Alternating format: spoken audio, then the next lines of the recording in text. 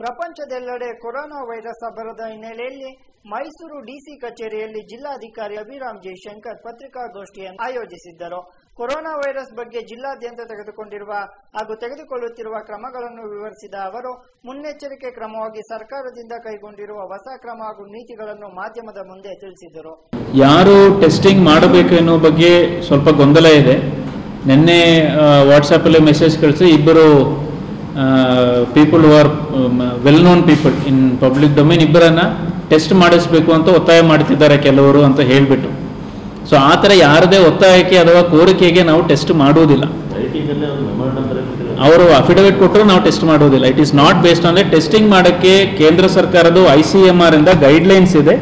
ಆ ಗೈಡ್ಲೈನ್ಸ್ ಪ್ರಕಾರ ಯಾರಿಗೆ ಟೆಸ್ಟ್ ಮಾಡಬೇಕು ಅಂತಿದ್ರೆ same thing direct close physical contact of confirmed positive case so positive ಅಂತ ಕನ್ಫರ್ಮ್ ಆಗಿರೋ ವ್ಯಕ್ತಿಯೊಂದಿಗೆ ಕ್ಲೋಸ್ ಕಾಂಟ್ಯಾಕ್ಟ್ ಇದ್ದವರು ಅಥವಾ ಕಳೆದ ಎರಡು ವಾರಗಳಲ್ಲಿ ಈ ಅಫೆಕ್ಟೆಡ್ ಕಂಟ್ರೀಸಿಗೆ ಪ್ರಯಾಣ ಮಾಡಿ ಅಥವಾ ಅಲ್ಲಿ ವಾಸ ಮಾಡಿದವರಿಗೆ ಮಾತ್ರ ನಾವು ಕ್ವಾರಂಟೈನ್ ಮಾಡ್ತೀವಿ. ಈ ವ್ಯಕ್ತಿಗಳಲ್ಲಿ ಸಿಂಪ್ಟಮ್ಸ್ ತೋರಿಸಿದವರಿಗೆ ಮಾತ್ರ ಟೆಸ್ಟಿಂಗ್ ಆಗಿತ್ತು ಹೊರತು. ಯಾರಿಗೆ ಸಿಂಪ್ಟಮ್ಸ್ ಕೂಡ ಇಲ್ಲ.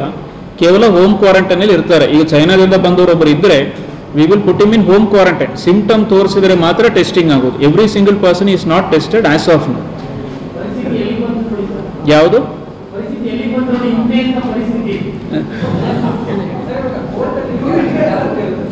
ಯಾವುದು? ಅಲ್ಲ ಅದೇ ಹೇಳಿದೆ ಈಗ ಟ್ರಾನ್ಸ್ಮಿಷನ್ ಲೋಕಲ್ ಟ್ರಾನ್ಸ್ಮಿಷನ್ ಇಲ್ಲ.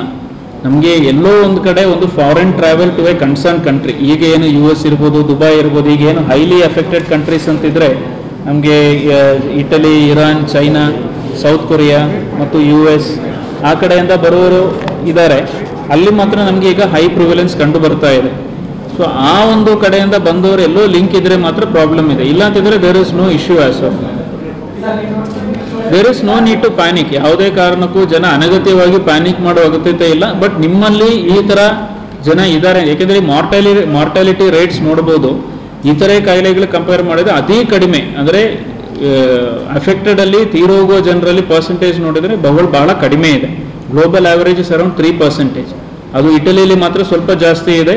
Outside China it is less than Italy China ಬಿಟ್ಟರೆ it is less than one South Korea it is less than one percentage mortality ಅಲ್ಲಿ ಆಗಿರೋದು. Less then one percentage affect ಆದವರಲ್ಲಿ ತೀರೋಗ್ತಾರೆ ಅದು ಕೂಡ ಬೇರೆ ಇನ್ಫೆಕ್ಷನ್ಸ್ ಇದ್ದವರಿಗೆ, ಈಗ ಆತ್ಮ ಇರ್ಬೋದು, ಅಥವಾ ನ್ಯೂಮೋನಿಯಾ ಇರ್ಬೋದು, ಬೇರೆ ಕಾಯಿಲೆಗಳಿದ್ದವರಿಗೆ ಇದು ಬರುವಾಗ ದಟ್ ಓಲ್ಡ್ ಪೀಪಲ್ ಈಗ ಸಿಕ್ಸ್ಟಿ ಇಯರ್ಸ್ ಆ್ಯಂಡ್ ಅಬವ್ ಇರುವವರು ಹೈ ರಿಸ್ಕ್ ಕ್ಯಾಟಗರಿ ಅಂತ ಮಾಡಿದ್ದಾರೆ.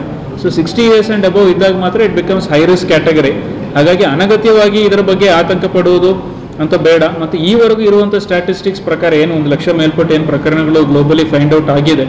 More than eighty percentage is mild infection ಕೇವಲ ಹೋಮ್ ಕ್ವಾರಂಟೈನಲ್ಲಿ ಸಿಂಪ್ಟಮ್ಯಾಟಿಕ್ ಟ್ರೀಟ್ಮೆಂಟಲ್ಲಿ ಕ್ಯೂರ್ ಆಗಿರುವಂಥ ಪ್ರಕರಣಗಳು ಅಂತ W H report say more than eighty percentage mild infections ಇದೆ. ಎರಡು ವಾರ ಕಾಲ ಏನು ಇದು home isolation with symptomatic treatment ಕೊಡ್ತಾರೆ. ಅಂದರೆ ತಲೆನೋವು ಇದ್ರೆ ಅದಕ್ಕೆ ಮಾತ್ರ, ಜ್ವರ ಇದ್ರೆ ಅದಕ್ಕೆ, ನೆಗಡಿ ಇದ್ರೆ ಅದಕ್ಕೆ ಬಾಡಿ ಪೇನ್ ಇದ್ರೆ ಅದಕ್ಕೆ, ಅಂದರೆ ಪ್ರತಿಯೊಂದು ಸಿಂಪ್ಟಮ್ಗೆ ಬೇಕಾದಂಥ ಟ್ರೀಟ್ಮೆಂಟ್ ಕೊಟ್ಕೊಂಡು ಏನು ಟ್ರೀಟ್ಮೆಂಟ್ ಕೊಟ್ಟಿದ್ದಾರೆ. ಅದರಲ್ಲೇ ಕ್ಯೂರ್ ಆಗಿ ಬಂದ ಮೈಲ್ಡ್ ಇನ್ಫೆಕ್ಷನ್ ಇರೋರೇ ಬಹುತೇಕ ಜನ ಇದ್ದಾರೆ. ಸೊ ಅಣ್ಣಸರಿ ಪ್ಯಾನಿಕ್ ಏನು ಬೇಕಾಗಿಲ್ಲ ಬಟ್ ಮೆಂಟಲಿ ಪ್ರಿಪೇರ್ಡ್ ಇರಬೇಕು ಮತ್ತು ಕೋಆಪರೇಟ್ ಮಾಡಬೇಕು ಅನ್ನೋದು ಮೆಂಟಾಲಿಟಿ ಜನರಲ್ಲಿ ಇರಬೇಕು. ಇದನ್ನ ಹೈಡ್ ಮಾಡಕ್ ಹೋದ್ರೆ ಇದು ನಾಳೆ ಎಲ್ಲೋ ಸ್ಫೋಟ ಆಗುತ್ತೆ. ಅದು ಮಾತ್ರ ನಿಜ. ನಿಮಗೆ ಪರಿಚಯದವರು ನಿಮ್ಮ ಕುಟುಂಬದವರು ಎಲ್ಲೋ ಟೂರ್ ಹೋಗಿ ಬಂದಿದ್ದಾರೆ. ಏಕೆಂದರೆ ಈಗ ಇಟಲಿ ಅಥವಾ ಗ್ರೀಸ್ ಇರ್ಬೋದು, ಅಲ್ಲೆಲ್ಲ, ತುಂಬಾ ಜನ ಟೂರ್ ಹೋಗೋರು ಪ್ಯಾಕೇಜ್ ಟೂರ್ಸ್ ಫ್ಯಾಮಿಲಿ ಟೂರ್ಸ್ ಹೋಗೋರು ತುಂಬಾ ಜನ ಇದ್ದಾರೆ. ಅಂಥವ್ರು ನಮಗೆ ಮಾಹಿತಿ ಸರಿಯಾಗಿ ಕೊಡಬೇಕು. On work purpose U S ಹೋದವರು ಇರ್ತಾರೆ ದುಬೈಗೆ ಹೋದವರು ಇರ್ತಾರೆ ಮಿಡಿಲ್ ಈಸ್ಟಿಗೆ ಹೋದವರು. ಮಾಹಿತಿಯನ್ನು ಸಪ್ರೆಸ್ ಮಾಡಿದರೆ you are putting not only your life but ನಿಮ್ಮ ಮನೆಯಲ್ಲಿ ಇರತಕ್ಕಂಥ ವ್ಯಕ್ತಿಗಳದು ಮತ್ತು ನೀವು ಸಂಪರ್ಕ ಮಾಡುವಂಥ ಪ್ರತಿಯೊಬ್ಬ ವ್ಯಕ್ತಿಯ ಒಂದು ಇದನ್ನು you are putting the met risk ಅದನ್ನು ದಯವಿಟ್ಟು ಎಲ್ಲರೂ ಅರ್ಥ ಮಾಡ್ಕೋಬೇಕು.